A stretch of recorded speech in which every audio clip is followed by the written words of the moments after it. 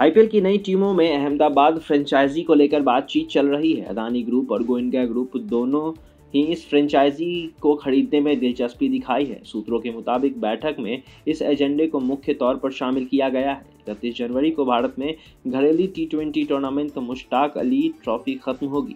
इसके बाद फरवरी में मिनी ऑक्शन होगा। लीग की शुरुआत अप्रैल में दूसरे हफ़्ते से होगी क्योंकि इंग्लैंड के साथ घरेलू सीरीज़ मार्च के अंतिम हफ़्ते तक चलेगी।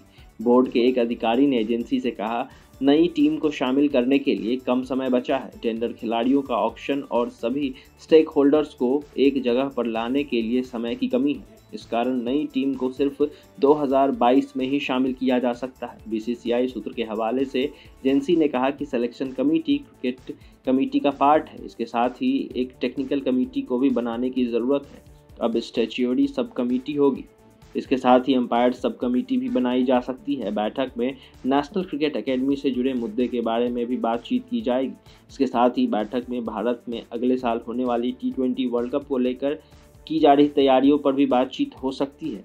साथ ही क्रिकेट को 2028 में लॉस एंजलिस में होने वाले ओलंपिक में शामिल किए जाने को लेकर भी चर्चा हो सकती है।